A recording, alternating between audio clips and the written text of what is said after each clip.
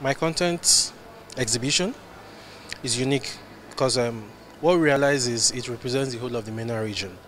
And where best to, to be than the MENA region? Um, it's our first time here and we're excited. We're content aggregators, we also own a platform. So every business owner want to sell. This is the best place to be at this time. And that's why we decided to partner with our partners, that's Yendicore Media, to be present here. Our partners, Yendicore Media, they're based in Abu Dhabi, we're based in Nigeria. Their reach into Africa is through us. Their reach into West Africa is through us, Talks Project. And we have a healthy representation around West Africa from Nigeria. So this is the best way to, to, to open up that region to, to this region.